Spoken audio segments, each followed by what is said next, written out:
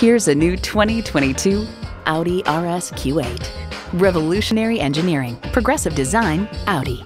Features include twin turbo V8 engine, active front and rear anti roll bar, integrated navigation system with voice activation, refrigerated box located in the glove box, heated steering wheel, auto dimming rear view mirror, streaming audio, Wi Fi hotspot, power tilting steering column, front and rear parking sensors, and multi zone climate control.